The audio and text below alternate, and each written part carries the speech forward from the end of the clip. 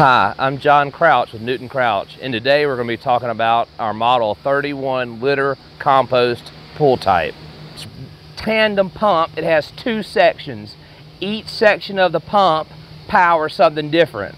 The front section powers the spinners, which is adjusted through this manual flow control valve here.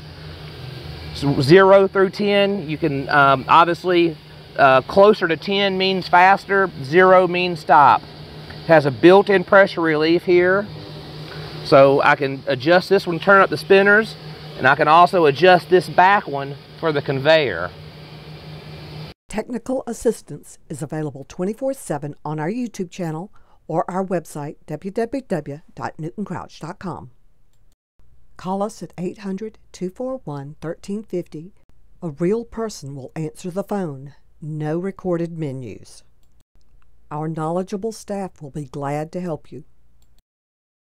Proudly made in America, a family owned business since 1940, Newton Crouch.